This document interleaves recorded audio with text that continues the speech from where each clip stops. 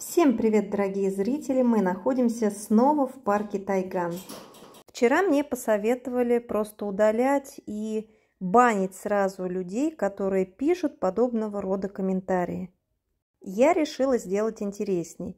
Такие комментарии и различные угрозы в свой адрес, а их вы увидите немножко позже, я буду выставлять в своих видеороликах. Чтобы были все доказательства – о таких посетителях, которые, приходя, своим поведением просто, я считаю, гадят парку Львов Тайган. Для некоторых я скажу, кто считает, что я получаю какую-то прибыль. Для тех, кто не в танке, хочу напомнить то, что на Ютубе сейчас заработать очень сложно, а практически невозможно, потому что реклама не показывается – в России монетизация отключена. Большинство моих подписчиков именно из России.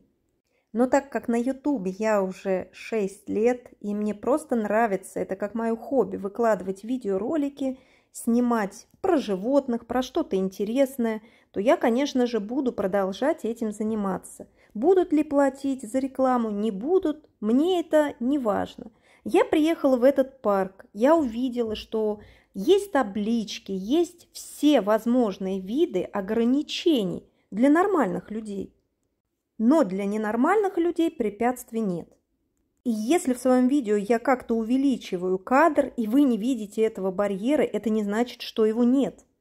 И не кажется ли вам странным, что именно в парке Тайган происходят подобного рода случаи? Например, в парке «Сказка» я не припоминаю каких-то громких, слава богу, случаев, хотя там ограждения, я уверена, что абсолютно такие же, абсолютно такие же, как в парке Тайган.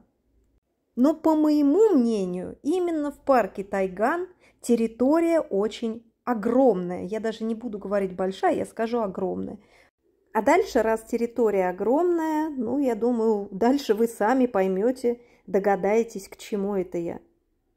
Подобного рода комментарии с различными угрозами в мой адрес я буду сохранять, закреплять, делать скрины, закреплять в своем видеоролике и показывать большой аудитории.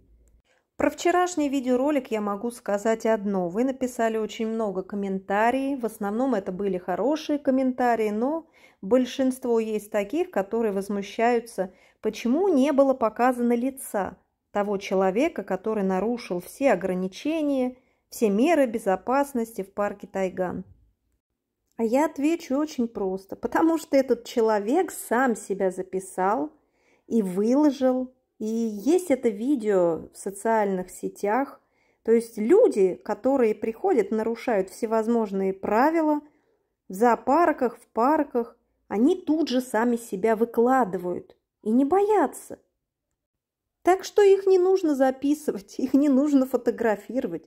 Не нужно показывать их лица, они сами себя записывают и сразу выкладывают в соцсети. Именно за этим они приходят в шикарное место, в парк Тайган.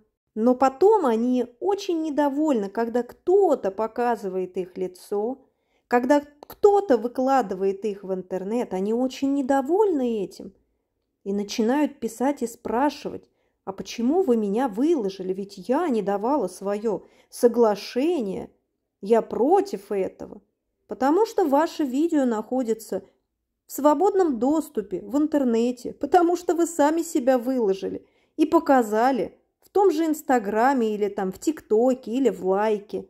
Да, и хочу заметить, что на своем канале специально я никого не записываю и не буду специально никого записывать. Они сами попадают в кадр случайно. А так как я снимаю животных, я нахожусь в общественном месте и имею на это полное право.